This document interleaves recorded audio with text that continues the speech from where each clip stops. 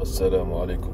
شوفوا يا إخوة نزلت آه، منشور في مجموعة منبر النقاشات العقدية وقلت فيه السؤال الذي دمر الأشاعرة لماذا عندما أعرج بالنبي صلى الله عليه وسلم إلى السماء سأله الصحابة رضي الله عنهم هل رأيت ربك؟ ولماذا لم يقل لهم هل أصبحتم وهابية تعتقدون أن الله في السماء؟ بل قال لهم رأيت نور. وفي لفظ أن أراه وحجابه النور. فماذا قال لي هذا يعني هذا الأشعر الخبيث؟ قال لي كذلك يقول النصارى عند الدعاء ربنا الذي في السماء وأنت تؤكد على كلامهم. سبحان الله. أنا ما قلت أن الله في السماء وما قلت أي شيء قلت. طرحت سؤال بريء والسؤال وجيه. النبي لما أعرج به وعاد إلى الأرض يعني آه، في الغد قال للصحابة إنه إنه أعرج بي إلى السماء السابعة إلى سدرة المنتهى وتكلمت مع ربي ورأيت أخي موسى في السماء السابعة وأبونا آه وأبينا إبراهيم في السادسة وكذلك زكريا في الرابعة وعيسى, في الثانية عليهم السلام وكثير من التفاصيل. فقال أني تكلمت مع ربي عند سدرة المنتهى ونزلت سورة النجم وكثير من يعني الأدلة. فالصحابة أول ما قال لهم النبي أنه أعرج به إلى السماء وتكلم مع الله في السماء عند سدرة المنتهى وهي أعلى يعني يعني مكان يعني في الجنة سبحان الله الصحابة تبادر إلى أذهانهم مباشرة. هذا السؤال وهو هل رأيت ربك؟ هذا الدليل على أن الله في السماء. يعني فوق العرش في سمائه فوق عرشه كما قال السلف. والنبي لم ينكر عليهم ولم يقل لهم كيف يعني أنتم هل تعتقدون أن الله في السماء؟ كما تقول النصارى أو يقول وهابية أن الله في السماء. ويحكم ما قال لهم هكذا.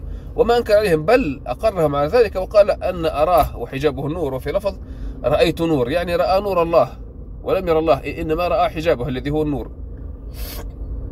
وهذا إقرار من النبي على أن الله في السماء. فماذا قال لي هذا هذا المشرك؟ كذلك يقول النصارى عند الدعاء ربنا الذي في السماء. طيب الم... طيب هذا هذا الدعاء هذا الدليل على أن النصارى في هذا الباب أفضل منكم. لأنهم يعتقدون بعلو الذات لله. وما تجد أي نصراني إلا ويقول لك الله في السماء.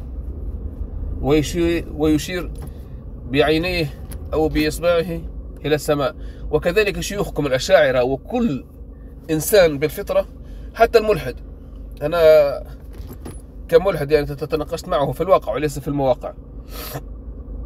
عندما نتكلم سبحان الله هو لا يعتقد أن الله يعني موجود من أصله.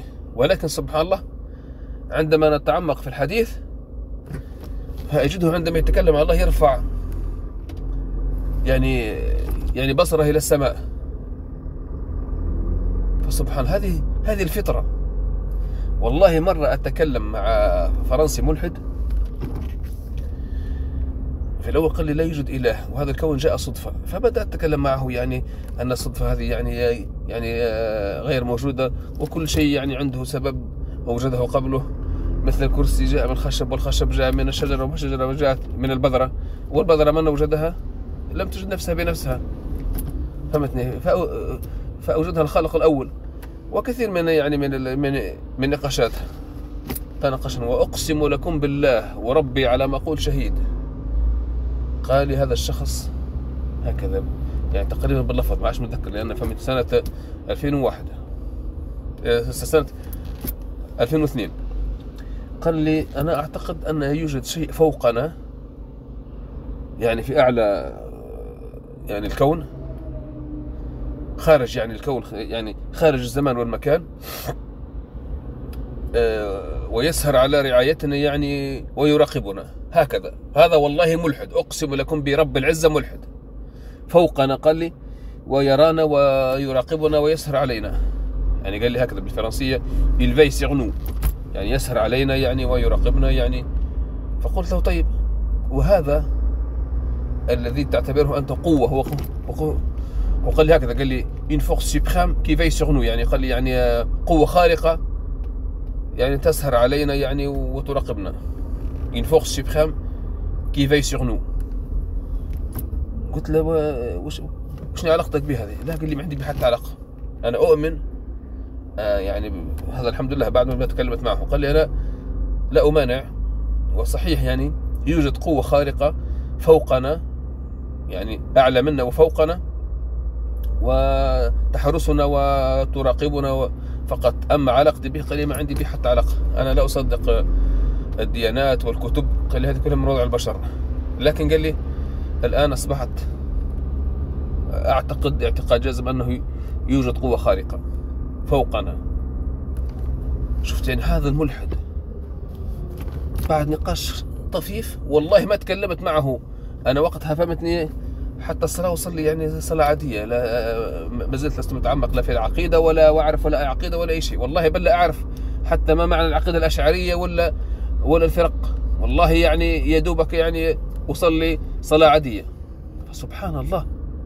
باش ما يقولش واحد ممكن يعني أنت قلت هو أنا الله في السماء أنا والله ما تكلمت معه لا لا عن مكان الله هل هو في السماء أم في الأرض؟ ما تكلمت معه تكلمنا على قد في وجود الله.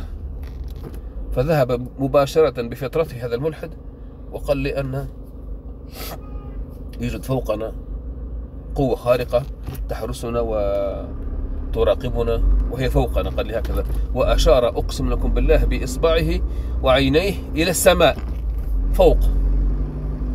فسبحان الله يعني ما والله يعني لا أدري يعني هل أشعري هذه يعني طمست ومحو يعني يعني يعني ومحيت فطرته أم ماذا؟